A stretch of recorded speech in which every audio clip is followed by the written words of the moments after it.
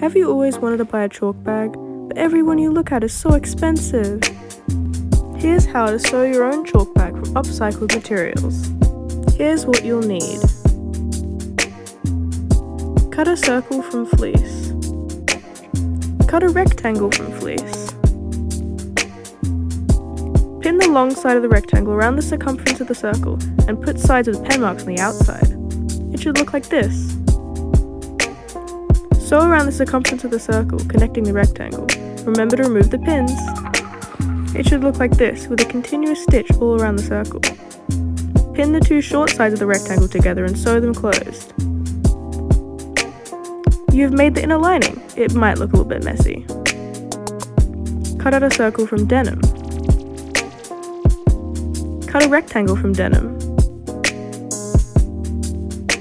Pin the long side of the denim rectangle around the edge of the circle with the bad side outside. Sew the rectangle to the edge of the circle. Sew the short sides of the denim rectangle together.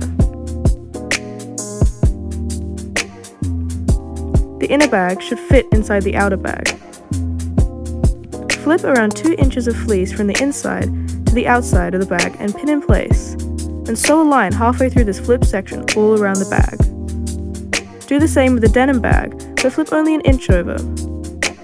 Add eyelets or cut holes on one side of the flip section and thread a shoelace through this flip section. Place the fleece bag inside the denim bag. Only the good side should be visible. Pin the fleece so that the top rests just below the seams near the top of the denim bag.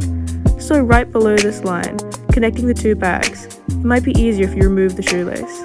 Congrats! You've finished your chalk bag!